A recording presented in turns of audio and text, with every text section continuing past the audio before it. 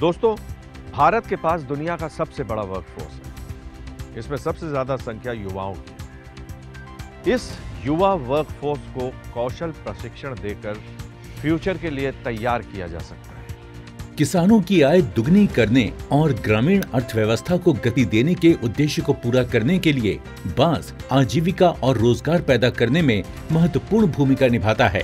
खेती किसानी की दुनिया में हरे बाँस को ग्रीन गोल्ड कहा जाता है, क्योंकि इसकी खेती से सोने जैसा ही प्रॉफिट होता है। इसमें मेहनत बहुत कम है और कमाई बहुत ज़्यादा। अब बाँस से बनी चीज़ों के इस्तेमाल के कारण बेम्बो आर्ट एंड क्राफ्ट देश में 20 लाख से अधिक लोगों को रोज़गार उपलब्ध करा रहा है। इस क्षेत्र में रोज़गार और स्वरोजगार के अवसरों को देखते हुए कौशल विकास और उद्यमशीलता मंत्रालय की निगरानी में agriculture skill council of India द्वारा कौशल प्रशिक्षण दिया जा रहा है। आज मोबाइल व इंटरनेट जैसे हाईटेक कम्युनिकेशन लोगों की पहली ज़रूरत बन चुके हैं। इससे मोबाइल उपभोक्ताओं की संख्या में लगातार वृद्धि हो रही है।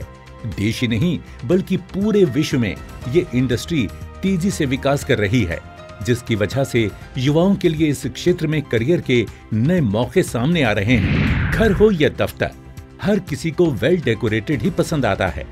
जब बात डेकोरेशन की आती है तो सबसे पहले दिमाग में कलरफुल पेंटिंग का ख्याल आता है। जब से इंटीरियर डिज़ाइन का प्रचलन बढ़ा है पेंटिंग की कद्र और बढ़ गई है। यही वजह है कि बीते दस वर्षों में पेंटिंग इंडस्ट्री लगभग 18 फ़ीसदी की दर से बढ़ रही है। और आज इसका बाज़ार लगभग दो बिलियन डॉलर का हो गया है जिसकी वजह से इस क्षेत्र में मैन्युफैक्चरिंग से लेकर एप्लीकेशन तक में स्किल्ड लोगों की ज़रूरत होने लगी है। देखिए हर शनिवार सुबह नौ बजे आपकी बात दीपराज राणा के साथ। सिर्फ़ दूरदर्शन पर। इस कार्यक्रम के प्रायोजक हैं कौशल भारत कुशल भारत।